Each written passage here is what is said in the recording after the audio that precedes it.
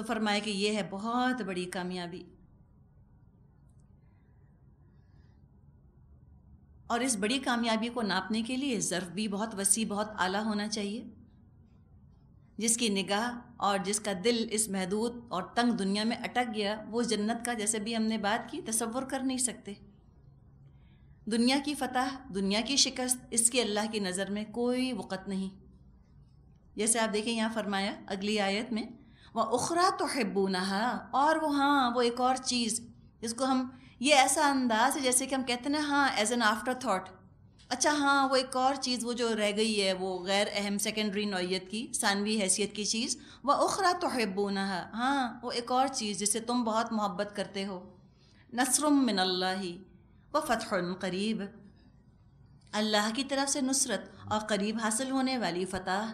व बशरमिन नबी सल्लल्लाहु अलैहि वसल्लम, अहले ईमान को बशारत दे दीजिए। तो ये दुनिया की कामयाबी जो तुमको इतनी बड़ी लगती है, इतनी मैग्नीफाई हो जाती है तुम्हारी नज़रों में, अल्लाह की नज़रों में तो कोई वैल्यू ही नहीं। वो तो असल चीज़ है ही नहीं, वो तो है, बस ऐसी कोई नफिल दर्जे की चीज़ है एक्स्ट्रा चीज़ है। दुनिया की फ़तह, दुनिया की शिकस्त, कोई अहमियत नहीं रखती अल्लाह के लिए। ओहद में शिकस्त हो गई तो क्या हुआ? हमज़ा रदन सत्तर सहाबा समेत कामयाब हो गए, जिन्होंने अपनी जानें दे दी, वो कामयाब हो गए। और आगे जाकर इस्लाम सारे अरब पर गालिब हो गया तो क्या हुआ? सुलह हुदैबिया हो गई, फ़तह मक्का हो गई तो क्या हुआ? हुनैन जीत गए तो क्या हुआ? तबूक में फ़तह हासिल हो गई तो क्या फ़र्क पड़ा? अब्दुल्ला बिन उबई तो कामयाब ना हुआ। तो ये दुनिया की फ़तह, दुनिया की शिकस्त इस नथिंग कुछ भी नहीं है। असल चीज़ अपनी ज़ात, अपनी ज़ाती जद्दोजहद, अपनी ज़ाती कोशिश। किसने कितना बढ़ चढ़ कर हिस्सा डाला, किसने एक्सट्रीम पर जाकर कोशिश की है? ये अल्लाह देखेगा। Who has striven to the utmost किसने अटमोस्ट कोशिश कोशिश की है? कपा दिया, लगा दिया उसने, थका दिया अपने आप को। एग्जॉस्ट किसने किया है अपने आप को? कौन थक गया है अल्लाह की राह में स्ट्रगल कर करके। वो अल्लाह ताला देखेगा। और थक कर बैठना नहीं है। थक के फिर चलो। थोड़ी देर सस्ता लो, लेकिन फिर चलो। रिटायरमेंट का तो कोई सवाल ही नहीं। दुनिया की तो हर जॉब से रिटायर हो जाता है इंसान। मुजाहिद तो मरते दम तक रिटायर नहीं हो सकता। नहीं हो सकता। और औरतों के पॉइंट ऑफ़ व्यू से अगर आप बात करें तो मर्द तो फिर भी रिटायर हो जाते हैं ना साठ साल की उम्र में। ख़वातीन रिटायर होती हैं।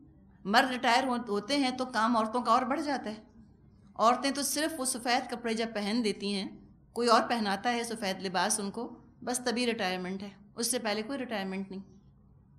तो इसी तरह जैसे औरत रिटायर नहीं होती ना, और दुआ करनी चाहिए कि अल्लाह हमें रिटायर ना करे, हमारे हाथ पाँव चलते रहें। इस तरह हम मोहताज होकर बिस्तरों पर ना बैठ जाए ना, बहुत अल्लाह का फजल है कि अल्लाह एक्टिव रखे और होशियार रखे और तेज़ी के साथ काम धंधे अपने निपटाते रहें। तो ये भी दुआ करें कि अल्लाह मुझे आखिरी सांस तक मुजाहिद बना के रख। लगे रहें एक्टिव रहें नए नए आइडियाज़ नए नए ख्याल नए नए फ्रंट्स नए नए महाज क्या काम करना है? अब किसकी ज़रूरत है? अब क्या और चीज़ है? तो मुसलसल जब नई नई चीज़ें इंसान की ज़िंदगी में आती रहती हैं तो इंसान खुश रहता है उसमें। और आप देखिए, मुजाहिद रहता खुश है, अंदर उसके इतमान होता है। आँख उसकी रो सकती है, दिल नहीं रोता। और आपने ऐसे लोग देखे होंगे कि जिनके चेहरों पर मुस्कुराहटें हैं और बड़े ऊँचे ऊँचे कहे हैं, लेकिन उनके दिल खून के आँसू रोते हैं। उससे बहुत बेहतर है कि आँखें रोएँ, लेकिन दिल मुतमिन हो। किसी ने वो शेर कहा है ना कि हर दाग है इस दिल पर बजुस दाग नदामत के। हर दाग लगा है इस दिल पर, लोगों के तानों का और लोगों की तरफ़ से तकलीफ़ों का। हर दाग उठा लिया है दिल ने, लेकिन अल्लाह के सामने शर्मिंदगी का दाग नहीं है इस दिल के ऊपर। अल्लाह के साथ सच्चा है इंसान। कितना सुकून, कितना बड़ा एहसान अल्लाह का, जिसके साथ ये मामला हो जाए। तो अपना हिस्सा इंसान डाले और आखिरी सांस तक, आखिरी सांस तक करना है। छोड़ नहीं सकते। हमने देखा कि अगर सारी ज़िंदगी जिहाद किया और फिर छोड़ दिया तो फिर नाकामी। वो तो फिर नाकामी है ना? कस्बा तबूक में हमने देखा था, काब बिन मालिक और हिलाल बिन उमैया और मुरारा बिन रबी रद्लाम इतने गज़बों में शिरकत की थी। एक में नहीं की, तबूक में। तो कैसी उनकी पकड़ हुई? आखिरी सांस तक लगे रहना है। और उसके लिए फिर दुनियावी कामयाबी, दुनियावी नाकामी से डिटैच कर ले अपने आप को इंसान। जो पस्त हिम्मती आती है, हिम्मत जो टूटती है ना, वो हम देखते हैं कि वॉट हैव आई अचीव्ड मैंने क्या हासिल किया दुनिया में? जब ये हम टारगेट बना लेते हैं तो हम परेशान होते हैं। आप ये देखें कि मैंने इतना वक्त लगा दिया, मेरा अचीवमेंट हो गया, मैंने अल्लाह के लिए वक्त लगा दिया, अल्हम्दुलिल्लाह। तो इंसान जब अल्लाह के पॉइंट ऑफ़ व्यू से सोचता है, आखिरत के नुक्ता नज़र से देखता है तो ना बदली आती है, ना पस्त हिम्मती आती है, ना उसकी हिम्मत टूटती है। ताज़ा दम रहता है वो हमेशा। तो ये करने की ज़रूरत है। अब आगे एक और बात बयान फरमाई कि देखो, ये जो फतहुन करीब है, ये तो सेकेंडरी चीज़ें हैं। खुशखबरी सुना दीजिए मोमिनों को। अल्लाह चाहेगा तो दुनिया की फ़तह भी दे देगा चलो तुम्हें भी खुश कर देगा। तुम्हें दुनिया की आसानियाँ भी मिल जाएँगी।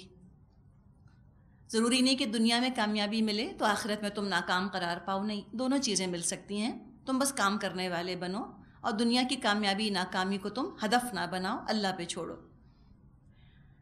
अब फिर दोबारा तवज्जो दिलाई जा रही है पुरजोर तरीके से जिहाद की तरफ़। या अयोहल्लदीना आमनु, ए लोगो जो ईमान लाए हो, कूनो अंसार अल्लाह अल्लाह के मददगार बनो। उफ, कितनी खुशकिस्मती। अल्लाह के मददगार। अल्लाह को ज़रूरत है मदद की। अल्लाह को कुछ ज़रूरत नहीं।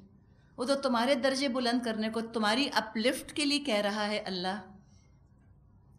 कि तुम आओ, अल्लाह के मददगार बनो। और अल्लाह को क्या चाहिए मदद? अल्लाह को टांगे दबवानी है अपनी नाउजुबिल्ला अल्लाह बीमार होता है, खाना चाहिए उसको। अल्लाह को क्या मदद चाहिए? अल्लाह के दीन की मदद करो। कैसे तुम अल्लाह के दीन को इतना गिरा पड़ा देखकर तुम चैन से रह सकते हो? तुम्हें फ़िक्र नहीं पड़ती? तुम्हें ख्याल नहीं आता? तुम्हें चैन कैसे आता है? तुम्हें खाना हजम कैसे होता है? तुम्हारे गलों से निवाले उतरते कैसे हैं? दीन का ये हाल देखकर। हकीकत है कि अपनी औलाद को हम इस तरह गुर्बत में पड़ा देखें तो हमारी ज़िंदगी हराम होकर रह जाए। और आज इस्लाम का हम ये हाल देखते हैं, उसकी गुर्बत और इस्लाम की यतीमी। और इतने मगन, इतने मस्त ख्याल भी नहीं आता कि मैं कुछ कर लूँ, मैं कुछ वक्त लगा दूँ।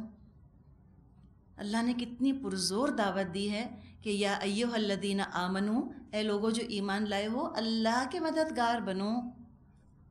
दीन की अपलिफ्ट का काम करो। मौका, हालात रिक्वायरमेंट देखो कि किस काम की ज़रूरत है। कहीं टीम वर्क की ज़रूरत होगी, मिलकर काम करो। कहीं तन्हा तन्हा, फर्दन फर्दन काम की ज़रूरत होगी, वहाँ काम करो। और हर काम का अजर उसकी ज़ाहरी शक्ल सूरत के साथ नहीं, बल्कि नीयत के साथ है।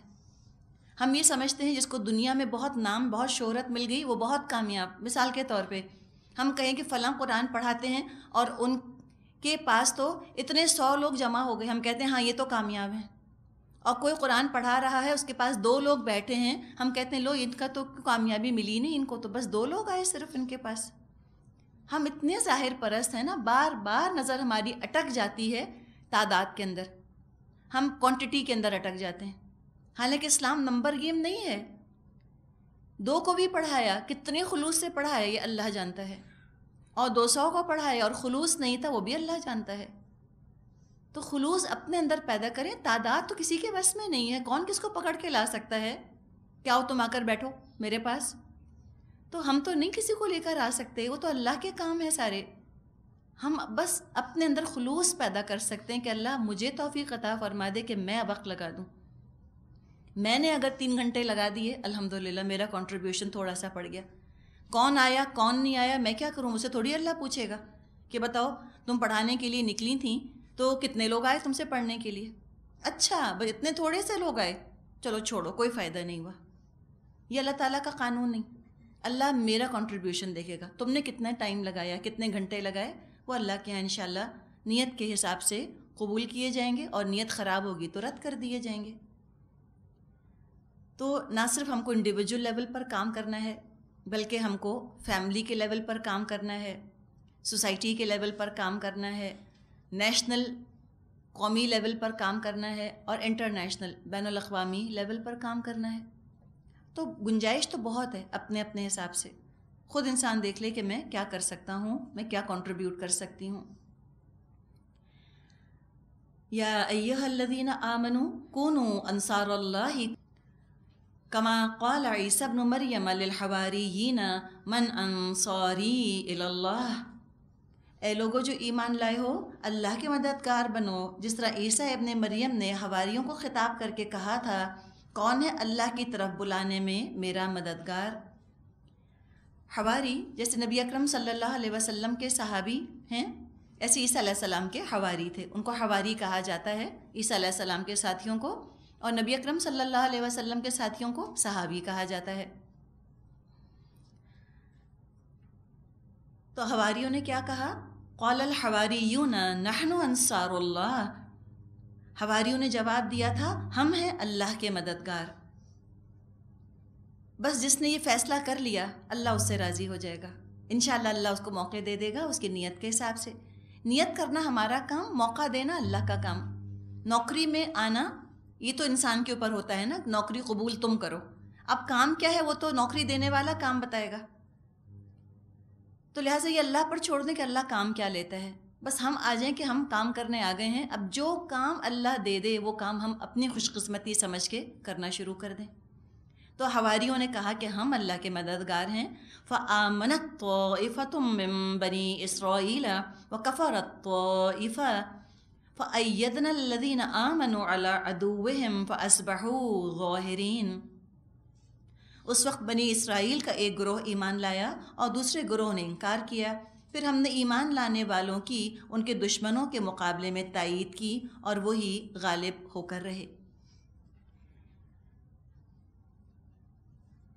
तो यहाँ आमनत तोफ़तुम में बनी इसराइला से मुराद क्या है? कि वो बनी इसराइल के लोग जो ईसा सलाम पर ईमान ले आए।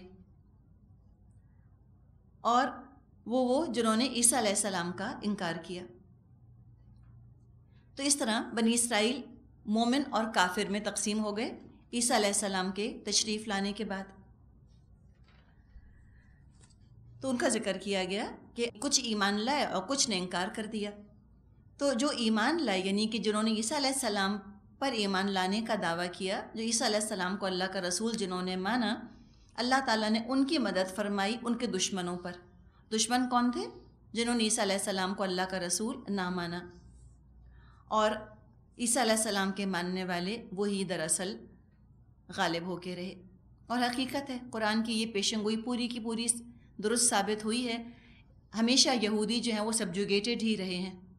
या तो मुसलमानों के ज़रिए उनको कुछ ना कुछ सिक्योरिटी और मदद उनको हासिल हुई, या ईसाइयों के ज़रिए से उनको कोई ना कोई मदद और थोड़ी बहुत सिक्योरिटी और तहफ़ उनको हासिल हुआ। ईसा सलाम के नाम मानने वाले हमेशा नीचे ही रहे।